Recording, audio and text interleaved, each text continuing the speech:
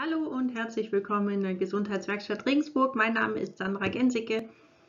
Ich studiere gerade an der IUBH Psychologie und ich habe verschiedene Methoden, damit ich es verstehe. Eine Methode ist anderen das auch zu erklären. Nach der Feynman-Methode lerne ich oft und wenn ich es anderen erkläre, gerade meinen Kindern, dann ist es auch eine Möglichkeit, es dir zu erklären, weil in meinem Fach, gerade in der allgemeinen Psychologie, gibt es auch keine Videos, die man sich anschauen kann. Also das, was ich sonst jemand anders erkläre, versuche ich dir zu erklären. Vielleicht hast du davon einen anderen Blickwinkel, andere Ideen und es hilft dir beim Lernen, so wie es mir natürlich auch hilft, wenn ich rede und es ein bisschen aus dem Kopf schon reden muss, um es verstanden zu haben. Klar ist, ich muss auch gelegentlich mal nachschauen, ist halt doch alles noch nicht perfekt drin. Dann legen wir los. Allgemeine Psychologie. Das Thema dieses Skript ist erstmal Lernen, das heißt, wir kommen zum Lernen. Und ich richte mich stark nach dem Skript von der EU. Jetzt heißt es ja nicht mehr EUBH, jetzt heißt es EU. Also ich richte mich stark nach dem Skript versuche aber auch aus meinen Erfahrungen und das, was ich gelernt habe, aus dem Hintergrund, was ich alles vorher gemacht habe, ein bisschen was zu erklären dazu. Ich hoffe, es hilft dir. Legen wir los. Es geht zum Lernen. Und unser Skript gibt uns eine Definition, die in dem Buch von äh, Gering und Zimbardo steht und konfrontiert uns gleich mit dem, was ist Lernen. Und da steht, Lernen ist ein Prozess, der in einer relativ konsistenten Änderung des Verhaltens oder des Verhaltenspotenzials resultiert und basiert auf Erfahrung. Das heißt, da haben wir schon mal einen richtigen Überblick. Was ist denn eigentlich Lernen? Ah, wenn man diese Definition als erstes liest, dann denkt man sich, jojo. Zum Erklären versuche ich das mal ein bisschen zu erklären, weil erstmal sollten wir uns darüber unterhalten, was ist denn eigentlich Verhalten? Also was bedeutet in der Psychologie Verhalten? Und da gibt es zwei Unterschiede, einmal das äußere Verhalten und einmal das innere Verhalten. Und äußeres Verhalten bezeichnet das Verhalten, was messbar ist und was wir auch beobachten können. Und das sind eigentlich fast alles physikalische Sachen von unserem Körper. Also können wir zum Beispiel alles, was mit Muskeln zu tun hat, können wir messen. Äußeres Verhalten, ich erschrecke mich ich zucke zusammen, das heißt, meine Muskeln sind angespannt an der Schulter, an den Händen, mein Mund öffnet sich, es spannt an, ich reiße die Augen auf. Das heißt, ich habe Mimik und Gestik. Vielleicht schreie ich noch, Wah! dann habe ich sogar Sprechen. Also alles, was mit Muskeln zu tun hat, ist zum Beispiel äußeres Verhalten. Dann haben wir im Gegensatz natürlich noch inneres Verhalten. Das heißt, beim Erschrecken, Herzfrequenz fängt an zu steigen, also mein, mein Herz pocht viel schneller,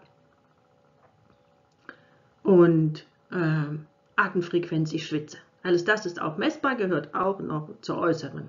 Also nicht zur inneren, wie ich gerade gesagt habe. Also gehört auch noch zur äußeren.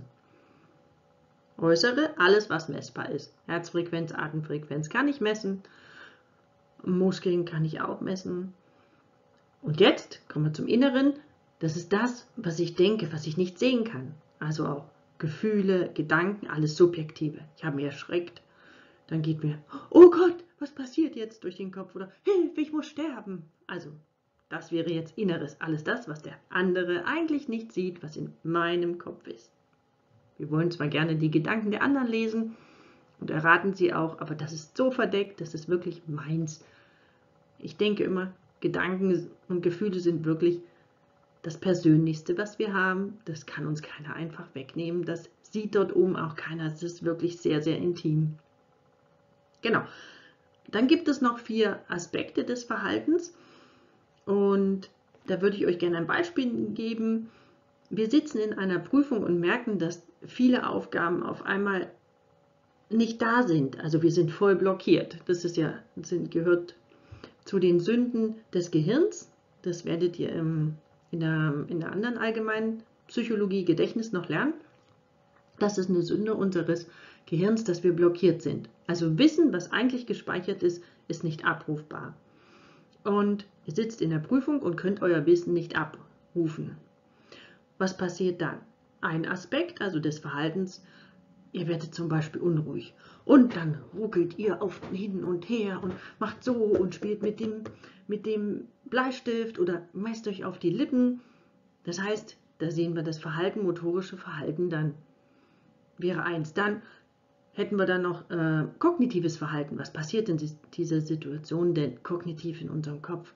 Oh Gott, wenn ich das nicht schaffe, dann falle ich durch und dann passiert dies und jenes. Das nennt man in der Psychotherapie Katastrophendenken, also was wäre wenn denken. Das zweite, also einmal haben wir es äh, motorisch und dann auch kognitiv. Das dritte wäre emotional. Ich kriege Angst. Also gerade bei Katastrophendenken ist das ja meistens so, ich kriege Angst. Was wäre wenn? Ich stelle mir das Schlimmste vor. Was für ein Gefühl habe ich daraus? Angst. Also erst denken und dann die Gefühle raus. ABC-Modell von Alice. Wir haben also motorisch, wir haben kognitiv, wir haben emotional und jetzt kommt noch physiologisch, weil genau diese Angst spüren wir dann, das ist das, was ich vorhin gesagt habe, das Äußere und Messbare, Herzfrequenz steigt, Atemfrequenz steigt, mir wird vielleicht kurz übel. Wenn das alles so passiert, das ist alles Verhalten in vier verschiedenen Aspekten mit inneren und äußeren Verhalten. Was tue ich dann? Am liebsten würde ich weglaufen. Genau. Das erstmal zum Verhalten. Also wir haben dort eine Definition.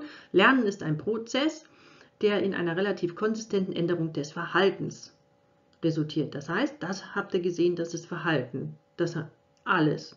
Herzfrequenz, Atemfrequenz, ob ich ruhiger bin, welche Gedanken habe ich, welche Gefühle habe ich, wie spanne ich an von den Muskeln. Das alles ist Verhalten, also ziemlich großes Repertoire. Dieser Satz ist auch ein bisschen kompliziert, weil er auch Verhaltenspotenzial drin hat und Erfahrung. Also ist, Lernen ist ein ziemlich großer Begriff und ich würde ihn gerne ein bisschen auseinandernehmen, damit es leichter ist zu verstehen. Also nach dieser Definition von Gehring und Zimmerdoh, woran erkennen wir jetzt, dass wir lernen? Das erste, was dort steht, Veränderung im Verhalten oder Verhaltenspotenzial. Wenn eine Veränderung im Gehirn geschieht, also wenn wir etwas Wissen aneignen, dann können wir das ja nicht sehen. Wir sehen nur das, was daraus resultiert, die Leistung. Und dann das Verhalten dazu. Hm, Leistung ist das, ein Beispiel dazu. Ich habe gelernt einzukaufen oder Auto zu fahren. Das ist das, was ich dann sehe. Das ist die Leistung. Und Verhalten, ähm, ein Beispiel dazu. Ich habe zum Beispiel gelernt, Lebensmittel zu wertschätzen und auch zu wertschätzen, dass es Bio-Lebensmittel sind. Und ich habe diese Werte gelernt das ist das, was ich in meinem Kopf ja da nicht sehe. Und jetzt habe ich ein Verhalten dazu. Ich kaufe. Also wie kaufe ich Lebensmittel? Das ist das dann mein Verhalten. Ich habe also ein Verhaltenspotenzial erworben, welches mich jetzt in meinen Handlungen beeinflusst. Und meine Haltung hat sich verändert. Also das eine sehe ich, ich gehe nämlich einkaufen, das habe ich gelernt, aber das, was in meinem Kopf passiert, dass sich meine Werte verändert haben, meine Einstellung verändert hat, meine Haltung zu etwas verändert hat, das sehe ich nicht, das ist nur in meinem Kopf, das ist dann das Verhalten. Ja, zwei unterschiedliche Sachen. Dieses Verhalten ist nach außen nicht sichtbar, das seht ihr, die Leistung, die erbrachte Leistung schon. Ich gehe in den Laden und kaufe zum Beispiel Bio-Lebensmittel. Dann allein das Kaufen der Bio-Lebensmittel, also das reine Kaufen ist die Leistung und das bedeutet nicht, dass auch eine Verhaltensänderung eingetreten ist, weil es könnte ja sein, dass gerade heute im Prospekt diese Bio-Lebensmittel besonders billig sind und ich kaufe sie nur, weil meine Einstellung, also meine Haltung dazu ist, ich kaufe alles, was billig ist. Allein das, was ich sehe von außen, die Leistung, hat nichts damit zu tun, was, ob eine Verhaltensänderung geschehen ist und welche Haltung ich habe. Also zwei ganz unterschiedliche Sachen sind immer ein bisschen schwierig zu sehen. Aber das eine denke ich mir, dass dieses, und das führt dann dazu, dass ich auch eine Leistung bringe. Und dass sich natürlich dann auch innerlich und äußerlich etwas ändert. Genau. Das ist das Erste. Also das Erste aus diesem Satz, mit diesem Lernen, sehen wir, dass es eine Veränderung im Verhalten gibt oder im Verhaltenspotenzial. Das Zweite, was dort ähm, beschrieben ist, dass das ein Prozess ist und dass diese Veränderungen dann relativ nachhaltig sind. Man sagt, dass als gelernt gilt, wenn Änderungen des Verhaltens oder des Verhaltenspotenzials, also der Werte, über verschiedene Gelegenheiten hinweg relativ nachhaltig sind. Also das ist nicht einmal Peng, so ist es, sondern es ist über längere Zeit. Und dann sollte es auch konstant auftreten. Das merkt ihr zum Beispiel beim Fahrradfahren. Ja, ihr habt es gelernt und dann kann es sein, dass ihr eine Zeit lang überhaupt nicht fahrt, aber ihr setzt euch wieder aufs Fahrrad und dann könnt ihr wieder fahren, es ist ganz schnell wieder drinne. Das letzte, was ihr hier noch seht, das steht äh, basiert auf Erfahrungen. Also es ist ein erfahrungsbasierter Prozess. Wir nehmen Informationen auf, wir bewerten sie, sie, wir transformieren sie. Das bedeutet, das ist auch wieder ein Teil vom Gedächtnis, dass wir sie mit unseren Erfahrungen, das, was wir sehen, zum Beispiel unsere Sinneseindrücke, mit unseren Erfahrungen abgleichen, mit unserem Bewusstsein. Und das nennt man Transformation. Und dann zeigen wir eine Reaktion dazu. Und diese Reaktion beeinflusst dann die Umwelt oder wir passen uns an die Umwelt an. Genau. Und das resultiert ja wieder, dass wir Erfahrungen gesammelt haben.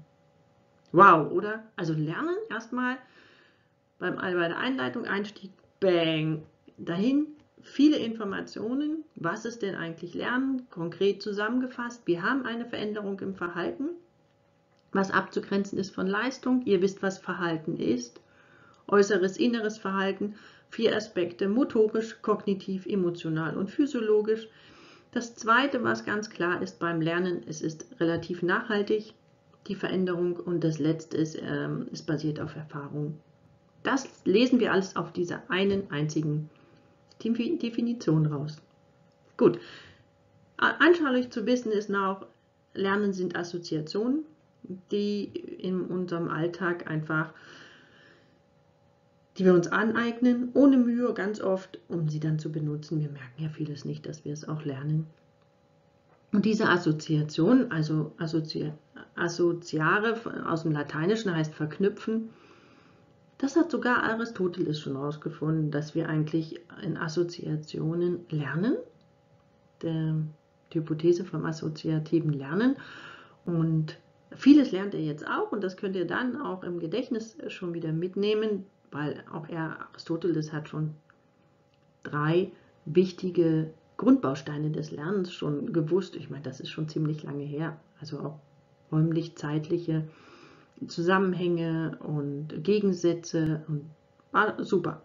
Genau, ist aber für später im, im Gedächtnis drin. Dann, ähm, Lernen sind Methoden, mit denen unser Organismus von Erfahrungen, von seinen Erfahrungen in der Umwelt lernt. Also ganz klar, Lernen hat auch für den Organismus jetzt nicht das an, was ich auch geschrieben habe.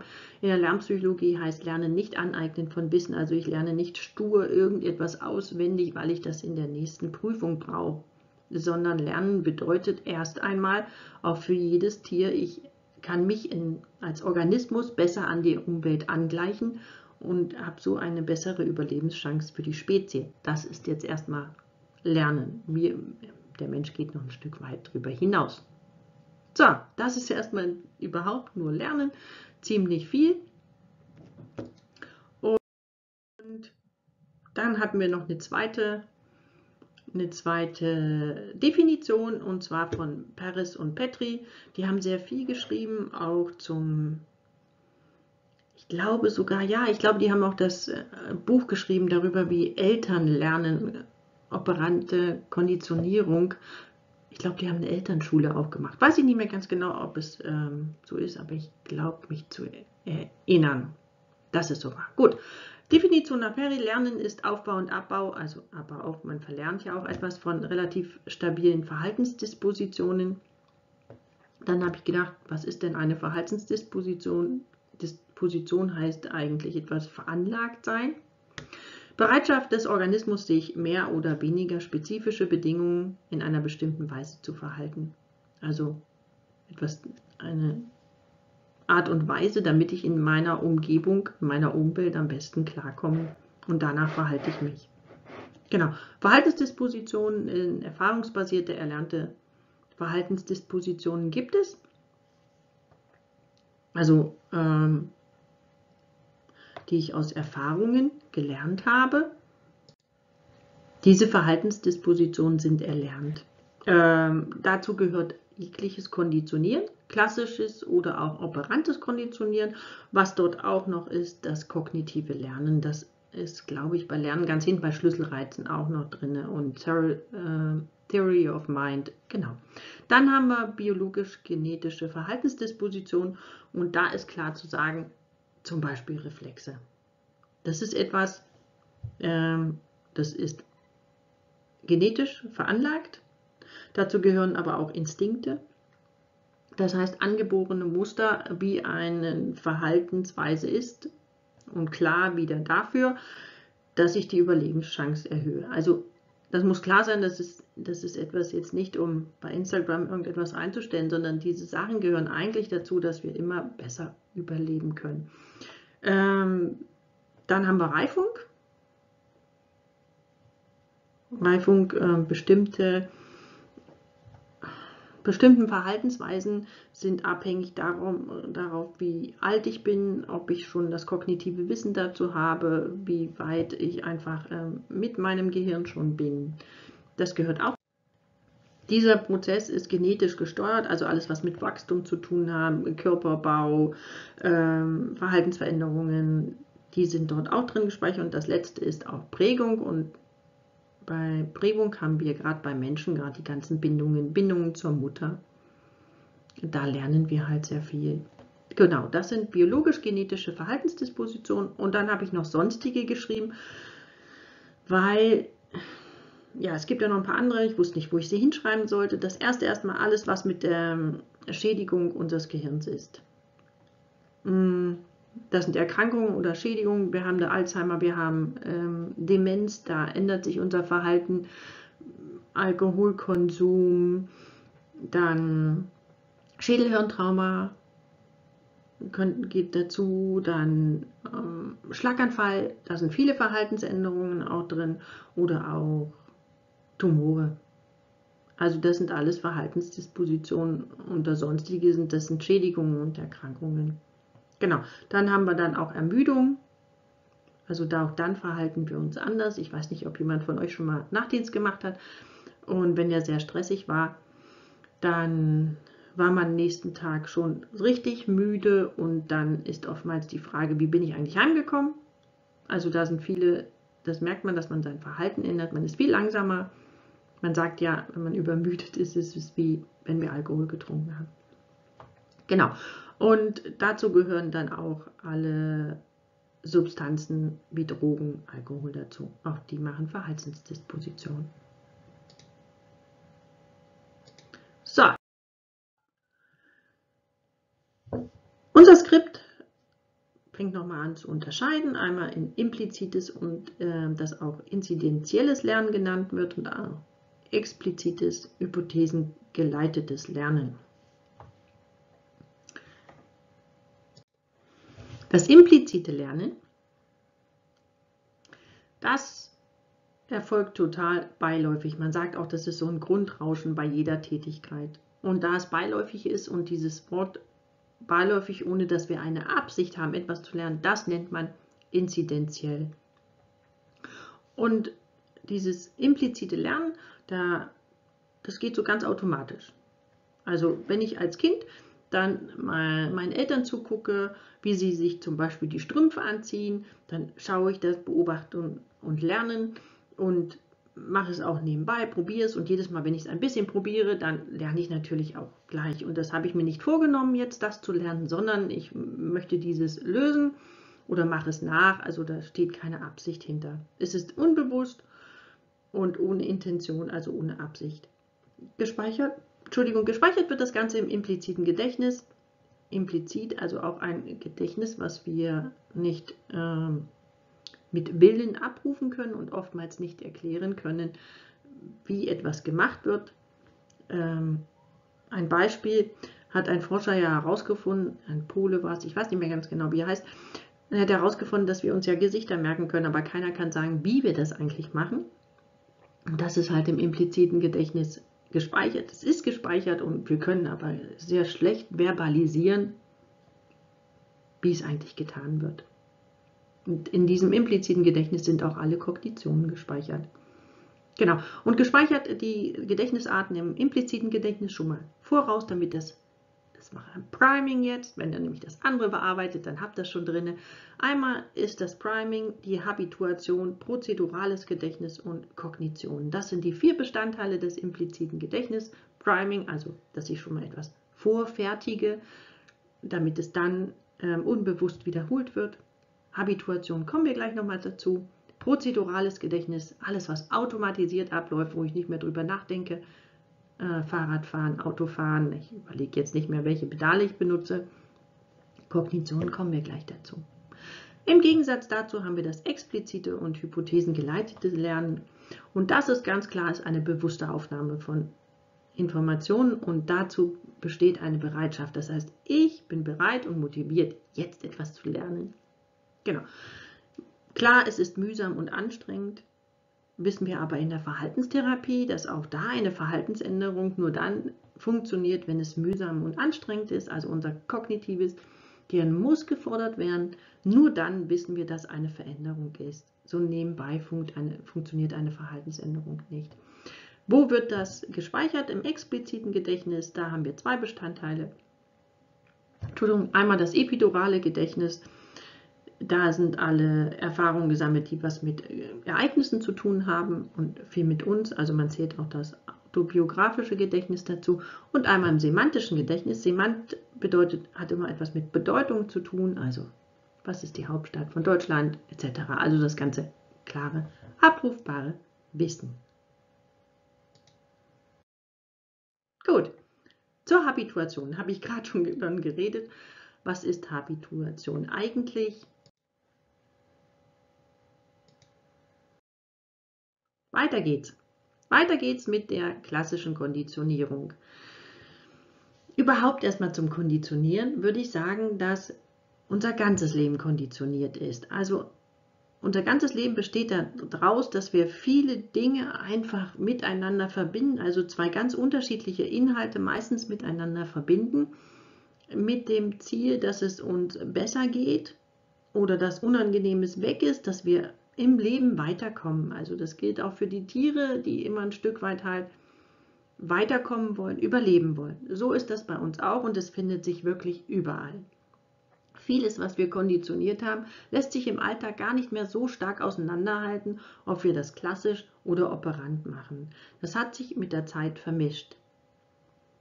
Es kann mit klassisch angefangen haben, aber viele Sachen verstärken wir selber oder werden von außen verstärkt dann gehört es zur operanten Konditionierung. Also unser ganzes Leben besteht aus Konditionieren.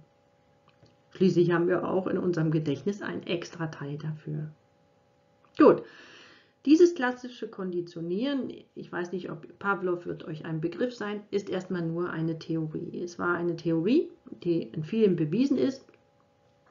Und diese The Theorie versucht uns halt was zu erklären. Und warum bestimmte Reize, die nicht angeborenermaßen ein Verhalten auslösen, jetzt diese Eigenschaft erhalten und dann eine Reaktion auslösen. Also eigentlich sind sie neutral und lösen nichts aus und jetzt lösen sie was aus. Ich werde ganz oft von Reiz reden, aber der englische Begriff oder auch der lateinische heißt ja eigentlich Stimulus, ist das gleiche manchmal sind Begriffe im Englischen gerade dann mit Stimulus, also versuche ich es äh, so gut es geht ein bisschen auseinanderzuhalten. Sag es nochmal, beide lösen aber eine Reaktion aus. Das ist klar, ein Reiz löst eine Reaktion aus. Genau. Dann auch noch, was ist denn eine klassische Konditionierung? Und ich habe versucht, es mal abzukürzen mit KK, sonst ist es einfach zu lang. Eine klassische Konditionierung ist eine Kopplung von vorhergehenden Bedingungen mit nachfolgenden Reizen. Und Kopplung hier auch assoziativ, ein assoziativer Lernprozess. Wird also was ähm, verbunden. Genau. Und es ist so, wir haben einen neutralen Reiz. Das äh, ist ja das, was in der Theorie schon steht, einen neutralen Reiz. und der wird mit einem nachfolgenden Reiz, der eine angeborene Reaktion auslöst, verbunden. Ich erkläre es gleich nochmal ganz, das ist nur die Theorie erstmal. Und dieser neutrale Reiz wird irgendwann dann zu einem Hinweisreiz, der voraussagt, was dann als Reaktion passiert. Hm. Ein Beispiel. Als ihr klein wart, da hat es geblitzt und gedonnert. Richtig? Und wir können ja immer zählen, wenn der Blitz kommt, wie lange dauert der Donner. Gut, haben wir als Kind noch nicht, aber der Blitz kam und es hat gedonnert und wir haben uns furchtbar erschreckt, weil es so laut war. Das heißt, dieses Erschrecken ist etwas, was in uns angeboren ist. Das ist wirklich ein ähm, angeborener Reiz, dass wir uns, wenn es laut ist, zum Beispiel erschrecken. Von Lärm erschrecken wir uns. Und der Donner ist jetzt eigentlich ein neutraler Reiz. Er ist zwar laut, aber er ist neutral. Wenn das jetzt öfter passiert, haben wir gelernt, wenn der Blitz kommt, wird es Donner gehen, wir erschrecken uns. Und jetzt kommt der Blitz und wir erschrecken uns. Gehen wir gleich nochmal durch, damit ihr das wirklich versteht, was eigentlich da passiert. Genau. Und dieser angeborene Reiz, oh schön, da steht Reiz, also dieser angeborene Reiz wird jetzt durch den neutralen Reiz, der mal neutral war, ausgelöst. So. Jetzt gucken wir uns das mal an. Wer hat das eigentlich erfunden? Pavlov. Und zwar mal wieder total zufällig. Er hat das nicht gewollt. Pavlov, Pavlov hat eigentlich Experimente gemacht, die alles, was er mit Verdauung zu tun hatte. Und bei diesen Experimenten hat er damals Hunden in die Speicheldrüse, ihr seht das hier äh, an der Seite, das ist die Speicheldrüse. Wir haben ja auch Speicheldrüsen. Und da hat er einen Schlauch rein äh, implantiert, weil er wollte halt wirklich, es hat was mit Speichel zu tun, Zusammensetzung, Verdauung. Und diese Hunde haben Futter bekommen. Und es ist ganz zufällig aufgefallen, dass wenn der Wärter mit dem Futter kam, am Anfang war es noch, wenn er an der Zellentür stand und später auch, wenn die Tür draußen überhaupt aufging, dass dann der Speichelfluss vermehrt wurde. Und das hat er bemerkt. Und dann war die Frage, wieso passiert das? Das Futter ist doch noch gar nicht da. Dann ist er umgeswitcht, er hat dann nicht weiter in irgendeiner Weise da geforscht, sondern er hat sich jetzt wirklich dem Verhalten und dieser klassischen Konditionierung, dessen Theorie er ja aufgestellt hat, gewidmet. Was hat er also gemacht? Der Hund war da und er hat dann einen Speichel. Es ist ein bisschen unscharf, ist aber nicht so schlimm, habe ich aus dem, aus dem Zimbado heraus. Wichtig ist, dass ihr es versteht. Also, der Hund hat immer noch diesen Schlauch und wenn er Essen bekommt, dann sagt der Körper, es kommt Essen und es kommt mehr Speichel. Was bei uns allen so ist, wenn wir ein Essen, äh, Essen sehen, dann bereitet sich natürlich der Mund schon vor, er speichelt, damit wir das Essen schneller verdauen können. Dafür ist unser Speichel ja da. Also eine ganz natürliche Reaktion. Und dieses Futter, was gegeben wird, das ist dann dieser unkonditionierte Stimulus, deswegen die Abkürzung ist UCS oder US-Stimulus. Es kommt aus dem Englischen. Im Deutschen würde das bedeuten, es ist ein unbedingter Reiz, also ein Reiz, der keine Bedingung braucht. Wenn Futter da ist, gibt es eine Reaktion. Diese Bedeutung von einem unkonditionierten Stimulus, die ist für den Organismus angeboren. Da können, kann der Organismus jetzt gar nichts anderes machen. Wenn es etwas zu essen gibt, dann speichert er. Habe euch ja gesagt, ist es wichtig, diese spezifische Reaktion, damit zum Beispiel Nahrungsaufnahme schneller ist. Der Hund hat das vorher nicht gelernt. Es gibt keinen Lernprozess. Und zu diesen unkonditionierten Stimuli gehören mehrere, also zum Beispiel die Schmerzreize. Wenn der Lärm richtig laut ist, dass mir die Ohren dann dröhnen, gehört dazu. Wenn ich mich verbrenne, wenn ich einen starken Lichtstrahl oder Laser ins Auge bekomme, wenn ich etwas ganz Scharfes esse und die Schmerzreize auf der Zunge sind. Also Schmerzreize gehören zu diesen unbedingten Reizen, diesen unkonditionierten Stimuli. Dann haben wir physiologische Reize. Das heißt, Ich erschrecke mich so, dass mir übel wird. Ich stehe an der Höhe und mir wird schwindlig. Ich habe das Gefühl in engen Räumen, dass ich ersticken muss. Ich habe dann Herzrasen. Ich falle in Ohnmacht. Das alles sind physiologische Reize, die auch angeboren sind. Dann haben wir die Schreckreize. Das bedeutet, wenn etwas laut und unerwartet knallt, dann schrecken wir zusammen. Wir schrecken aber auch zusammen, wenn es ganz dunkel ist und wir auf einmal irgendetwas hören. Schrecken wir auch zusammen. Das letzte, was wir noch haben an unkonditionierten Reizen, sind positive Reize. Also auch angeboren. Die Muttermilch ist etwas süßer, das heißt alles, was süß ist, dass wir das doch lieber mögen. Dass wir reagieren, wenn jemand lächelt oder wenn jemand sexy aussieht. Also das sind auch angeborene Reize. Hat ja auch was mit Fortpflanzung bei den Reizen zu tun. Also, ein Hund ist dort, bekommt Futter und dieses Futter löst jetzt in dem, Hund, in dem Hund eine Reaktion aus. Das Futter ist der Reiz. Das, was der Hund dann spürt, ist die Reaktion. Und das ist eine unkonditionierte Reaktion, also eine unbedingte Reaktion, abgekürzt mit UCR oder UR. Und diese unkonditionierte Reaktion, die erfolgt ganz automatisch ohne Lernerfahrung auf diesen unkonditionierten Stimulus beim Gewitter, dass man sich beim lauten Knall erschreckt. Das ist etwas, was wir nicht gelernt haben, das passiert. Früher zum Beispiel,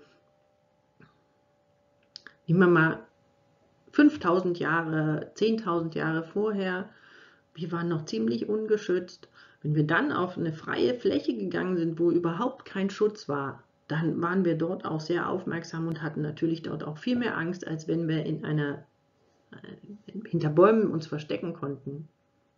Also diese Angst vor Plätzen, wo wir keinen Schutz suchen können, aber auch Angst vor Höhe. Das ist ja auch etwas, wenn es sehr weit runter geht, dass man da vorsichtig ist, dass man Angst bekommt. Also das sind alles Dinge, die schon sehr lange in uns sind und die sind halt angeboren. Was hat jetzt Pavlov gemacht?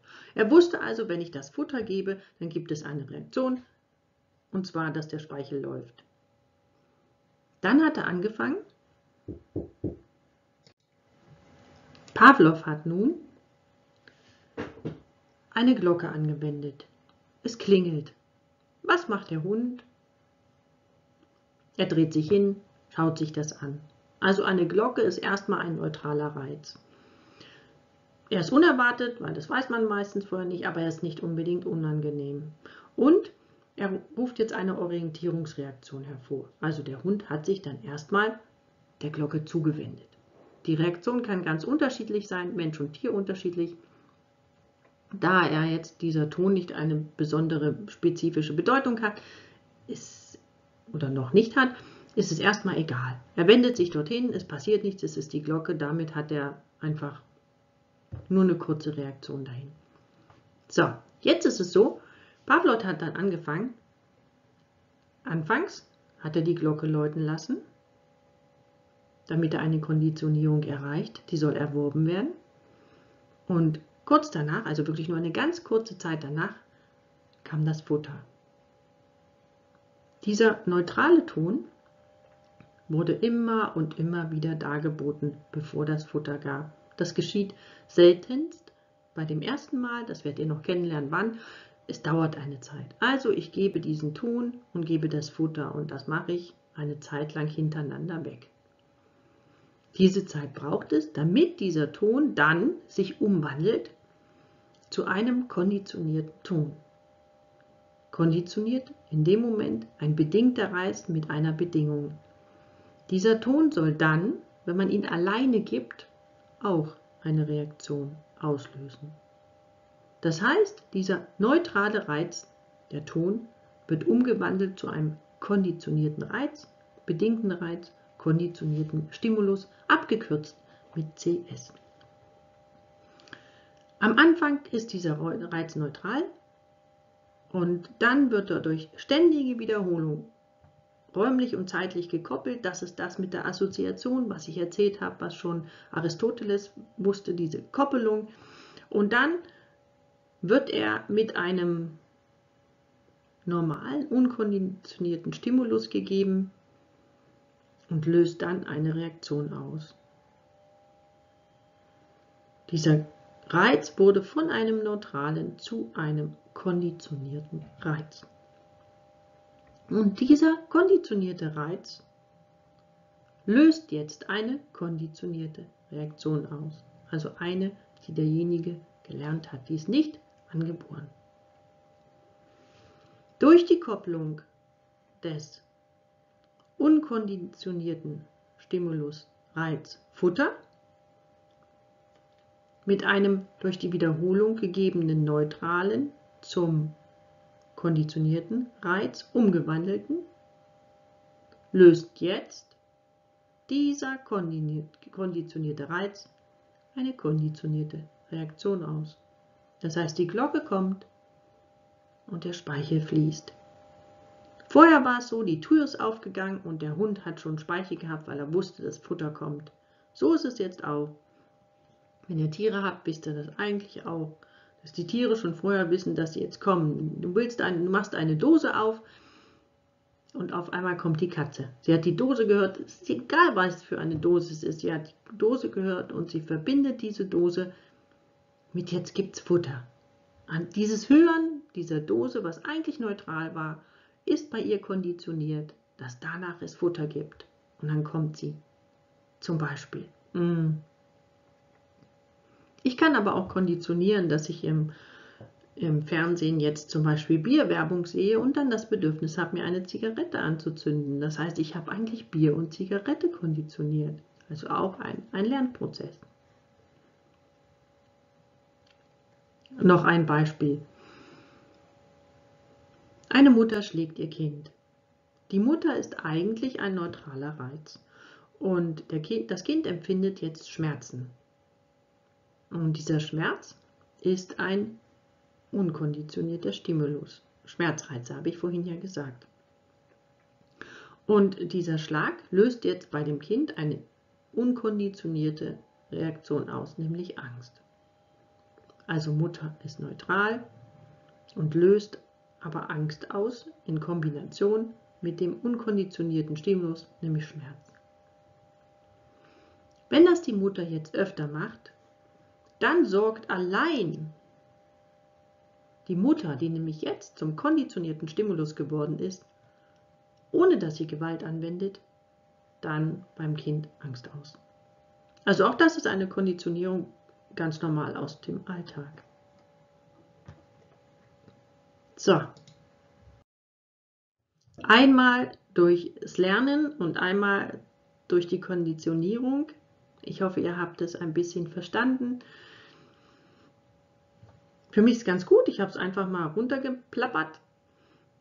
Ich hoffe, ich habe ein paar Beispiele nennen können, wo es äh, klarer wird auch obwohl der Hund ganz klar ist. Die Frage ist halt, wie funktioniert das alles? Wie nennt man das? Am Anfang ist es ziemlich verwirrend.